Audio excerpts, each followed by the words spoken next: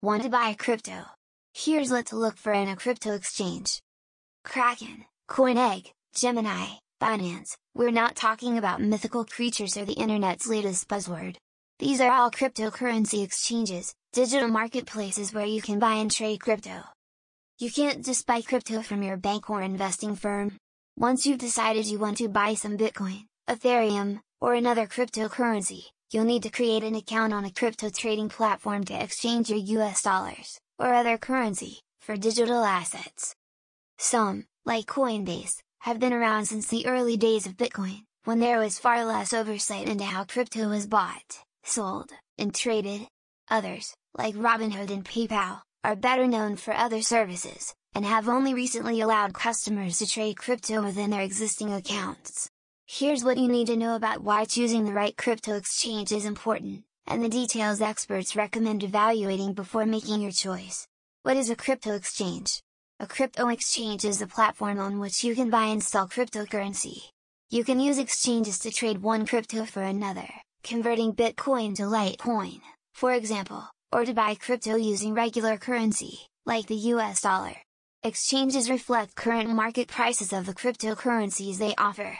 You can also convert cryptocurrencies back into the US dollar or another currency on an exchange, to leave as cash within your account, if you want to trade back into crypto later, or withdraw to your regular bank account. There's no one crypto exchange that's best for every user, says Tyrone Ross, a financial advisor and CEO of OnRamp Invest, a crypto investment platform for financial advisors. Instead, he says it helps to evaluate your own interests when it comes to crypto and find an exchange that aligns with your goals. For example, maybe you're looking for a specific coin, or you want to continue learning more as you get into crypto investing.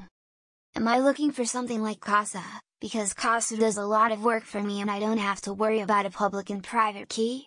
Am I going to Gemini, because Gemini has this weird coin that I want and they'll allow me to buy it? Or am I going to Coinbase because Coinbase has these really cool tools that allow me to learn and earn crypto? What to look for in an exchange. Accessibility. Your location may prevent you from buying and selling crypto on certain exchanges due to state or national regulations. Some countries, like China, have banned citizens from accessing crypto exchanges at all. In the United States, there's a lot of regulatory uncertainty around cryptocurrency, and some states have instituted their own regulations. For example, New York requires exchanges to obtain a BitLicense before they can operate within the state and only allows licensed companies to offer certain approved coins. Most other states don't have regulations as strict as New York, but many do regulate in some way, or are taking steps to do so. 31 total states have pending legislation regarding digital currencies in their 2021 legislative sessions, according to the National Conference of State Legislators. You can often find information about the geographic limitations of an exchange, as well as related accessibility factors, like national currencies accepted, on its website or within the terms of service. Security Cryptocurrency isn't backed by any central institution, and your cryptocurrency holdings aren't protected the same way as money in the bank or traditional investments. Some exchanges, like Coinbase and Gemini, Keep any balances in US dollars you hold with them in FDIC insured bank accounts. But FDIC insurance doesn't apply to cryptocurrency balances. To protect your crypto, some exchanges have insurance policies to protect the digital currencies users hold within the exchange from hacking or fraud. Coinbase, for example, has an insurance policy worth $255 million. That means if Coinbase's reserves were hacked and any amount of crypto up to $255 million was taken, account holders would be protected. Others, like Kraken, rely on their security practices to protect clients rather than insurance policies. Whether you plan to keep your crypto holdings within an exchange or only have it there for a short time before moving it into your own wallet, the exchange's security should be top priority. For example, look into how much of its assets the exchange keeps offline, and hard storage. This is even more important as the value of cryptocurrencies grows, since more value means more lucrative targets for potential thieves. In 2020, there were 28 total attacks on crypto exchanges, the largest of which resulted in more than $200 million in cryptocurrency assets stolen from Singapore-based crypto exchange KuCoin. Look into how much of its assets the exchange keeps offline. While exchanges, by nature, Need to keep some crypto active to facilitate trades, it's smart to keep the majority of holdings in cold storage, or offline, where it's more difficult for hackers to access. Coinbase, for example, says it stores 98% of customer funds offline, while only 2% is actively traded. That storage, combined with its $255 million insurance policy, offers more reason to trust your crypto assets will be covered in the case of a hack. You can also look for general online security measures you may already be familiar with on other platforms, such as two-factor authentication. That means, in addition to your username and password, you'll have to verify your identity using an additional method, like entering a code you receive by text message, each time you log in. In general, you may feel most secure sticking with more popular exchanges with an already large customer base. You may be taking more of the risk doing business with smaller or newer exchanges that don't have their security measures and offerings spelled out clearly online. Size matters here, says Douglas Boneparth, a financial advisor and president of Bone Fide Wealth in New York. He points to Coinbase, which recently went public on the Nasdaq Stock Exchange. There are pros and cons to that, but you now have public financials, you can actually see the health of the company, and that's important when thinking about using an exchange or investing with any company or product or service that they're providing. Fees. Fees are another thing to consider, but don't necessarily let a high fee structure turn you off an exchange. The easier they make it for you to buy it, the higher the fee that you're going to be paying, says Spencer Montgomery, founder of Umina Crypto Consulting, a program for new investors to learn about crypto. Higher fees can also be a worthwhile trade-off for the added protections and insurance that the bigger, more popular exchanges provide. Exchange fees may be a fixed price, but are often a percentage of your trade. Some exchanges, like Cash App, charge fluctuating fees based on the price volatility. Fees are often charged per transaction, and can differ whether you're the seller or the buyer. There may also be different fees depending on which currencies you trade. Make sure you understand exactly how and when an exchange plans to charge you for your crypto transactions before handing over your cash. Liquidity. If you plan to buy, sell, or trade your crypto, the exchange you choose should have enough trade volume to ensure your holdings are relatively liquid, meaning you can sell them when you want. Again, this can be an instance where size matters. Often, the more popular exchanges are also those with the largest trade volumes, when a lot of trades are happening within an exchange at any given time, it means you have a higher chance of buying or selling the crypto you hold at the best price, Montgomery says. Crypto prices move very quickly, so when you use an exchange that doesn't have a lot of trade volume, you could end up paying a higher price than you would on more popular exchanges.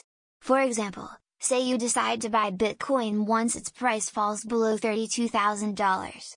If you're on an exchange with a low trade volume, you may end up actually paying a different price than you think, if your purchase doesn't actually go through until the price has moved back up.